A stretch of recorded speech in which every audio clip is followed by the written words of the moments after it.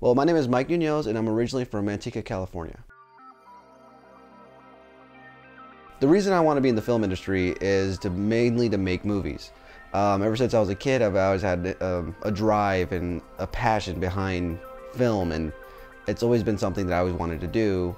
And it's just, I feel like I would be so comfortable in the industry doing, making movies um, with the other industry leaders.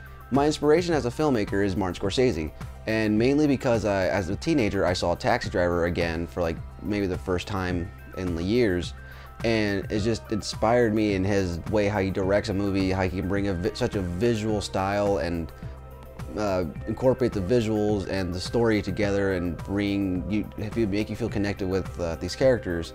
And I think most of his movies are like that, and I, and that's mainly one of the big reasons why I, I gravitate towards him.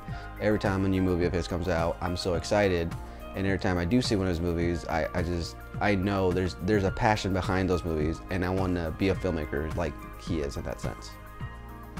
Originally, I aspired to work as a cinematographer eventually, uh, working for the camera department. But recently I discovered I wanted to be a director, writer, editor, um, the cliched trio. The one person in the industry that I would love to meet and I, I can't, I'm excited to meet this person is uh, Robert Rodriguez. Uh, this person inspired me as a kid to be a filmmaker as well. Um, ever since I discovered uh, DVD special features on a DVD on I believe was Once Upon a Time in Mexico. I saw that what he did behind the scenes was direct, shoot, and just have, and just the, the way that he builds a movie and does it so cheaply just fascinated me. And I was, just, as a kid, that just blew my mind.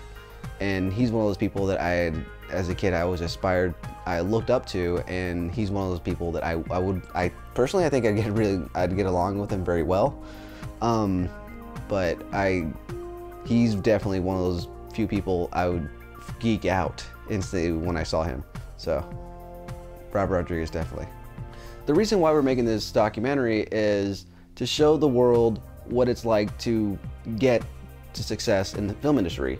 Usually you get to see the ones that are already, people have already been established and it, it goes back through the timeline. So it becomes more of a biography more than anything as opposed to us actually seeing what they actually went through or you read through a memoir And this, we're gonna actually show you what it takes to make it in the industry and hopefully inspire other people to become filmmakers.